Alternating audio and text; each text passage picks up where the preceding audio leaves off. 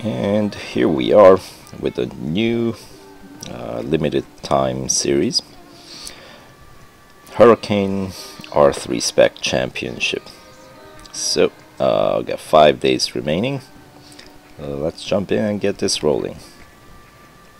This is the first card to be won uh, with this new update the hot hatches, up, hot hatches update. There we go. Um, let's see the usual um, rule applies to these uh, particular type of series the championship series. Uh, push the Huracán beyond what was previously thought possible. Okay. Alright so here's the breakdown of the reward structure. 25% increments um, with the last one of course giving out the most amount of gold and of course the car itself. Um, and 890 gold if you want to complete it right away. Uh, I don't think car itself is worth that much but uh, I suppose as you make your progress if you either run out of time or uh, find the particular goal too much then I suppose you can go with the uh, paying your way, I guess. Alright, so there should be 22 tiers, and there sure are. And from what I've heard, uh, this one's going to work very similar to like all the other championship series that we've done recently, meaning uh, because it is championship series, the limited time series, it uh, requires the, the cup races starting from the second tier on is going to require a certain amount of upgrades, the PR. And I believe uh, for this car, if you put the the three tiers of upgrades across the board, um, that should be enough to get you through. So here, let's jump in. Um, and then uh, base stat 64.3 PR. Uh, car belongs in the elite part of the career. So once you win the car, there's going to be a bonus series that unlocks an elite uh, part of the career. So uh, let's get the upgrades going right away because these uh, limited time series, if the past is any indicator of the present and the future, we're not going to go very far without any upgrades. Uh, most likely the second tier there will be a cup race that requires PR higher than what we are starting on. So here's the engine. Um, high flow carbon fiber airbox. More air to the engine. That's good. And drivetrain. Ooh, upgraded electronic differential. Uh, greater response times and more accurate torque distribution. Cool. Improving handling. Sounds all fancy. Um, I have to admit, I don't always read all these uh, descriptions of what the updates actual uh, upgrades actually do. uh, weight reduction. Um, right, take out the passenger seat. or something like that. Uh, Non-race specific car furnishings. Yeah, I think that's what it means. Um,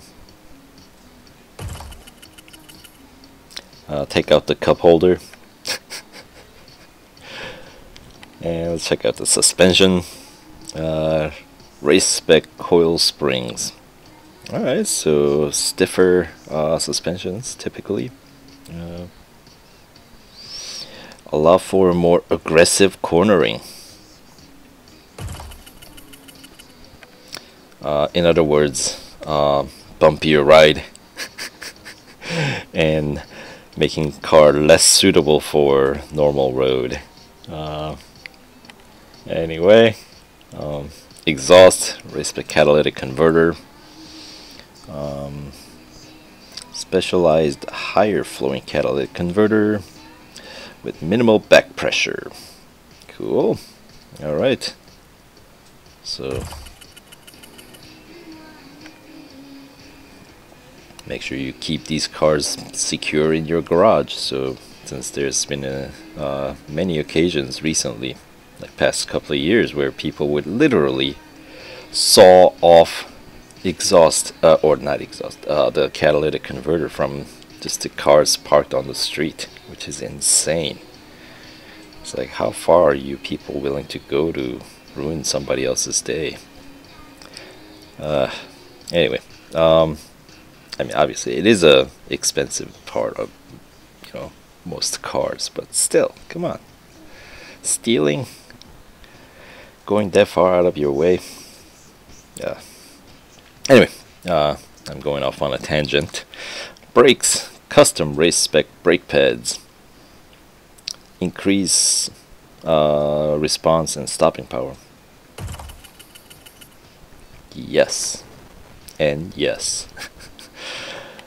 and tires and wheels, the one element that always makes the the gameplay a lot more enjoyable since it deals with the responsiveness uh, in the game, uh, acceleration and grip, um, race ready camber and toe adjustment, uh, specialized diagnostics and camber adjustment, uh, readjustment for ultimate handling and response. So it's the ultimate so there shouldn't be any more. Wouldn't that the meaning of the word, right? But, uh, as we know, there's more upgrades. Yeah. Alright, so now the upgrades are on their way. Uh, here, let's check out the customization option. Uh, they give us no um, vinyls to customize this car with. It's kind of curious, isn't it? Uh, and then just one official livery yeah um, hate that you know once we start running this car in the actual bonus series one of the elements that I really enjoy is when I get when I can see everybody else's uh, artwork if you will. Because um, you know some of my friends are very creative and very very talented with uh, making some killer artwork on the cars and they're always very uh, cool to see. Uh, but when you know obviously there's no option uh, other than rim um, we know what the rims look like ride height no thank you um, certainly not for 11 gold Alright, so that's that. Uh, let's get going. Speed Snap at Nürburgring, Müllenbachschleife. The short one, 213.7 is the target speed to hit. And uh, it's gonna be all about that last corner uh, that leads back into the main the starting line or finish line depending on how you want to look at it of this particular track variation so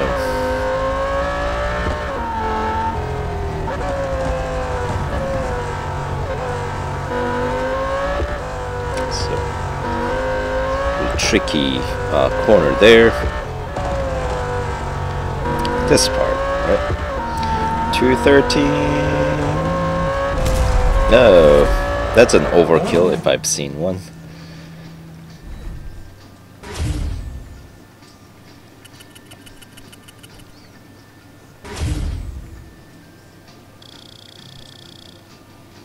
Man, that was some serious burst up uh, speed there at the end.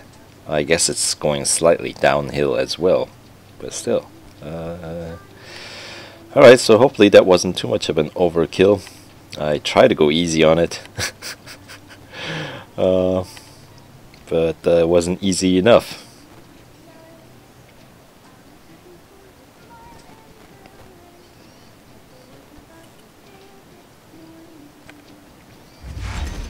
So the major um, holdup with these series is usually going to be the upgrade uh, delivery time and uh, yeah. Uh, at least we don't have to wait uh, each state for uh, like certain tier to open up so. Alright so get moving uh, if you kind of divide up into I guess four or five tiers each day then uh, this should be pretty manageable series uh, to actually win the car so good luck to you all and um, yeah see you in the next video